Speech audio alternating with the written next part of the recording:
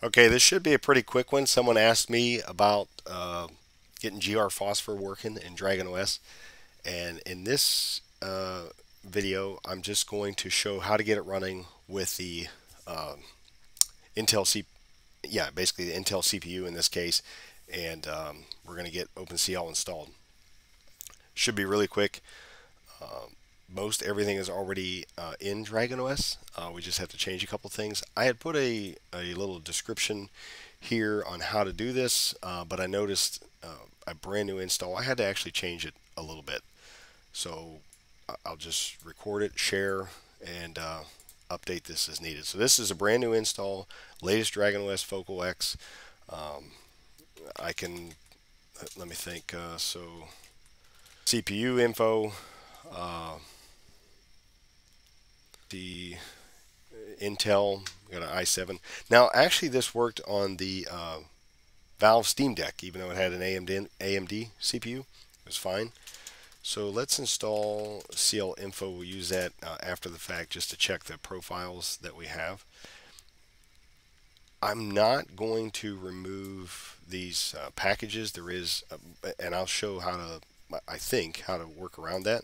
Uh, you, you can, but I'll show you what really uh, needs to be changed. So at least with Dragon OS. So I'm going to add uh, this GPG key here so that we can pull in the new, I think it's uh, the Intel oneAPI. And let's see, we'll echo this into our apt sources.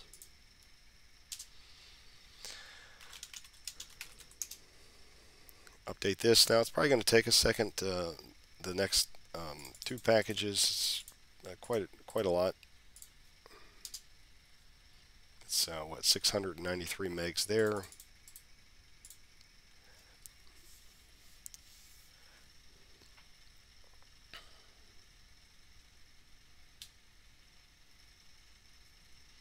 And then I have the ANT SDR E200 plugged in that I talked about in the last video. So we'll use that. we'll install the Intel OpenCL ICD.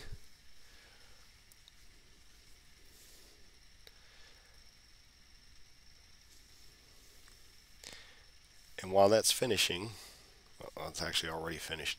Really, I think what we need to change, so if I do CL, CLI info and come up, you're going to see there's um, somewhere here.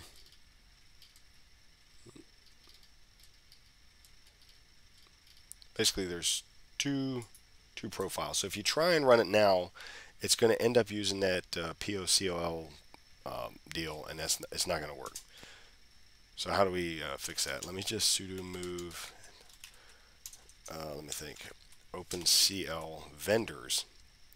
Now see how there's multiple uh, .icd files there. Let's just move this POCL one to home Dragon desktop just so I can have a backup of that.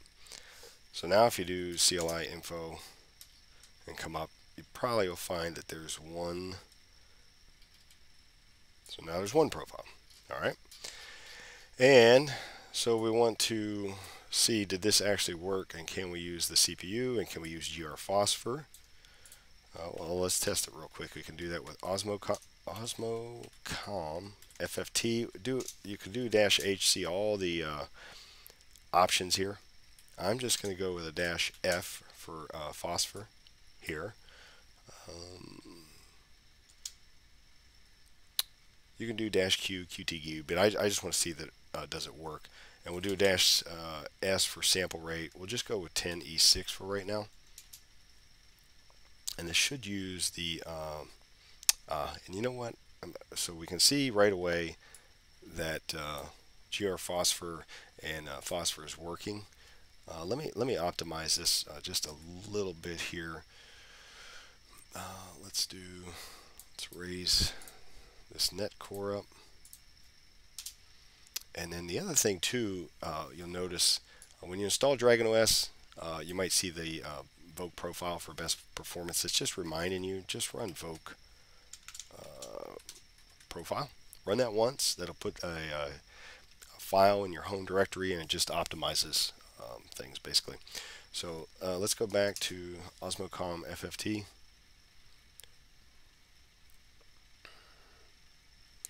And so we can see we've got got things working now.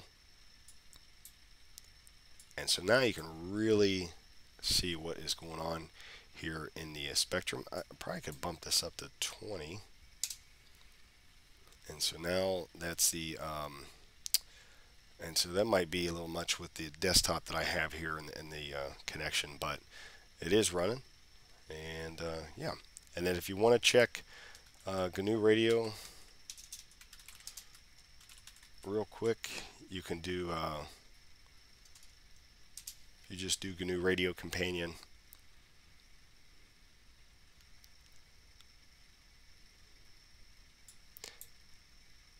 Actually, I'll make this even easier. Go into user source, DJI drone, DJI drone ID. Let's see, GNU radio, and we'll do GNU radio companion drone ID test. And uh, and so this is actually my first time trying this with the uh, AntSDR, and so 30 megs. Phosphor sync. Let's see what we got here. I might have to dial that sample rate back some.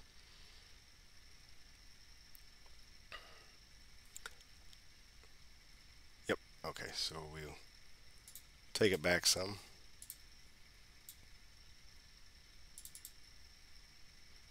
Default. I don't know, let's just go with 15E6 and we'll see.